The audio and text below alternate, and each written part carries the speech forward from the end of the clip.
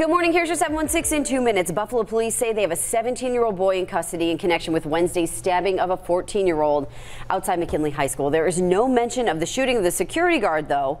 That stabbing victim has been recovering at Oishei Children's Hospital. The security guard released from the hospital.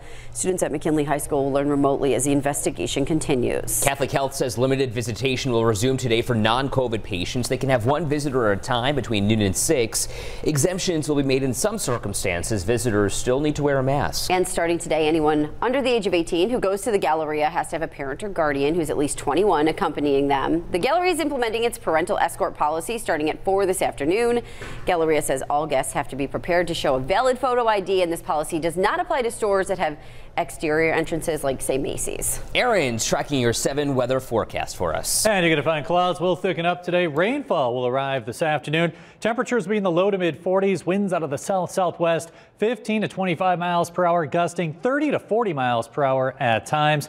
Tonight, overnight lows in the 20s. Rain will mix with and change over to snow with a cold breeze this evening.